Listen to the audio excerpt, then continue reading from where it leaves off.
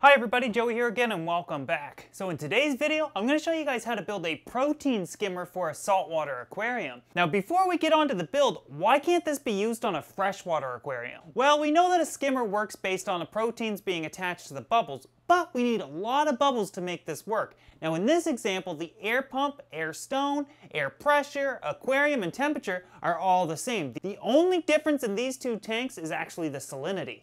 The tank on the left is freshwater, the tank on the right has a salinity of 1.025, a pretty common salinity for most saltwater tanks. So why is the freshwater producing regular bubbles you would expect to see, and the saltwater tank producing a massive cloud of tiny bubbles?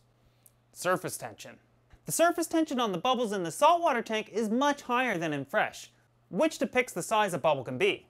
Bubbles in a saltwater tank can be made 4 to 5 times smaller than that in fresh water. Now because we rely on bubbles to remove protein from the water, a freshwater skimmer is simply not efficient enough to make it a useful component on a freshwater aquarium. Typically speaking, most protein skimmers will be round in shape, and this helps the flow of the bubbles. Most protein skimmers will also be tall and have a narrowing section at the top before it reaches the collection cup. We don't have to reinvent the wheel here, we just need to find a way to mimic the design with cheaper materials.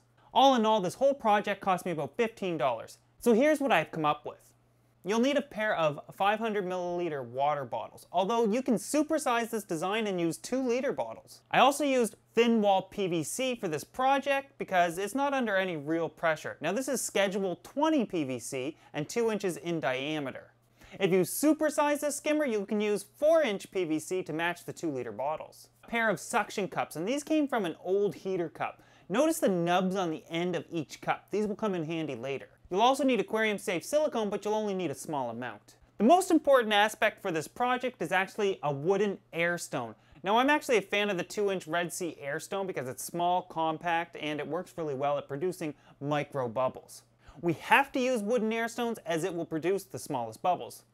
The smaller the bubble, the more efficient this will be. The air pump doesn't have to be huge, but the stronger the better. Start off by cutting the bottom of the bottle off, then the top third off the same bottle. You'll then be left with a midsection of that bottle. Moving on to the second bottle, cut the top third of that bottle off as well, and then slide the midsection of the first bottle onto the top half of the second bottle. Smooth the silicone over with your finger. Now this seam doesn't have to be strong, just leak proof. Drill two holes in the side of the PVC pipe. The holes should be slightly smaller than the nubs on those suction cups we looked at earlier. Turn the pipe on its side and drill a hole 2 inches from the bottom. Insert the suction cups into the first two holes. Now the suction cups should not come loose. Thread your airline into the last hole on the side of the PVC pipe. If the hole was made correctly, this will be a snug fit. Attach the wooden air stone to the hose on the inside of the PVC pipe.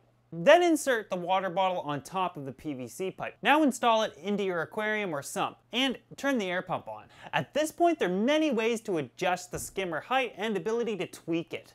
First, you can slide the whole skimmer up and down in the water. Second, since the bottle is not a snug fit, it too can be slid up and down to adjust the skimmer production. The skimmer will immediately start to produce the bubbles expected, and within a few days the collection cup will fill with skimmate. Adjusting to get the perfect skim can be easily done, however it can take several days to even weeks to break a skimmer in. To clean the skimmer, simply slide the collection cup off and pour the skimmate down the drain. So as the wooden air stone creates the tiny bubbles and those tiny bubbles rise, proteins attach to those bubbles and rise up through the pipe. As they reach the surface, foam begins to build up, and the more and more foam that builds, the higher up the neck of the bottle that that foam is pushed, only to eventually overflow into the collection cup to be completely removed from the system. So there you have it, a very cheap and easy to build skimmer. Obviously not very pretty, but it's in a sump so no one's going to see it anyways. Given its price and ease of use, it can also be used as a backup for a quarantine tank or maybe even a hospital tank. Maybe you take this design and make it much more appealing and efficient. Anyways, I hope you guys enjoyed this video. I also wanted to thank you for watching and we'll see you guys next week for a new project.